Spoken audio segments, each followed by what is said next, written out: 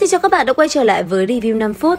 Ở cuối tập trước, sau khi vận dụng bá thể tam đan công để tập trung nguyên khí kết hợp với việc lĩnh ngộ ma âm của bóng tối cùng thần âm của thần nữ, thì tần mục đã đạt đến trạng thái thần ma cộng minh. Điều này khiến thôn trưởng cũng phải thất kinh bởi trong một ngày liền nắm giữ công lực hai chục năm của người bình thường. Chẳng lẽ tên nhóc này thật sự là kỳ tài bẩm sinh? Nghĩ kỹ thì cũng không biết chuyện này là tốt hay xấu nữa. Màn đêm buông xuống, rất nhanh, tàn lão thôn rơi vào bóng tối. Tần mục vừa chìm vào giấc ngủ thì trong đầu không tự chủ truyền đến tiếng ma âm u ám. Tiếp đó, thần âm vang lên. Loại âm thanh thần ma cộng hưởng kia dần dần hóa thành bóng tối cùng quang minh tranh đấu lẫn nhau ở trong đầu của hắn. Tầm mục cảm giác mình phảng phất không có hình thể, biến thành linh hồn trôi nổi trên bầu trời trận chiến của thần ma, ngơ ngác nhìn bóng tối và ánh sáng chinh chiến phía dưới. Địa phương chiến đấu của bóng tối và ánh sáng sống hệt như cảnh tượng hắn nhìn thấy ở di tích hẻm núi tối hôm qua vậy. Có điều, song phương đều giống như thực thực thể với hàng nghìn vạn quân đang tranh đấu vô cùng khốc liệt. Tầm mục bỗng nhiên tỉnh lại, mồ hôi đổ ra ướt đẫm quần áo. Hắn mở mắt, lại phát hiện trong suy nghĩ toàn là thần âm và ma âm, làm cho đầu óc như muốn nổ tung. Nhưng vào lúc này, khối ngọc bội trên ngực hắn đột nhiên phát sáng, có lẽ thứ này đã giúp hắn thoát khỏi mộng cảnh vừa rồi. Tầm mục ngồi dậy, cẩn thận quan sát miếng ngọc bội trong tay, hắn nhớ là tư bà bà kể lại, khi nhặt được hắn thì miếng ngọc này đã có sẵn trên người rồi. Vậy là cậu nhóc đoán rằng có lẽ do cha mẹ mình để lại, nhưng mà cha mẹ mình là ai, vì sao lại bỏ rơi mình, họ đang ở đâu, sau này có thể gặp lại họ không thì Tần Mục cũng không biết. Trời rất nhanh cũng đã sáng, mấy lão già trong thôn tiếp tục ra ngoài săn bắn, bắt càng nhiều tứ linh thú luyện máu tẩm bổ cho Tần Mục.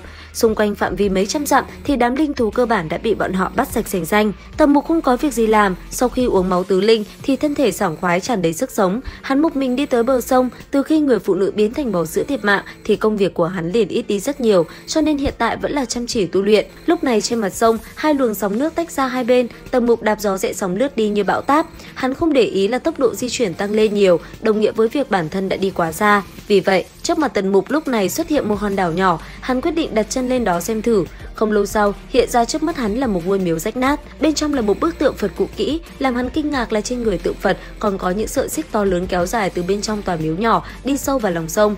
Trong đầu Tần Mục phảng phất nhớ lại lời của Hạt Gia Gia, nói vào miếu thì thắp hương, đây là quy củ, mình không mang hương, chỉ có thể nghỉ chân trước miếu.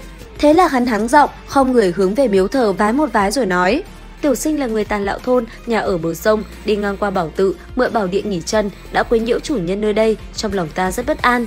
Hắn chần chờ một chút rồi tiếp tục tụng niệm lời người mù dạy hắn, nói: "Tiểu sinh thuở nhỏ thận hư người yếu, nguyên dương sớm tiết, trong miếu nếu là có thần tiên tỷ tỷ thì không nên đến hại ta."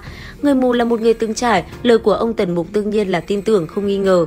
Vì thế, ông dạy hắn nói thế nào thì hắn liền nói y hệt như vậy, chắc sẽ không xảy ra vấn đề.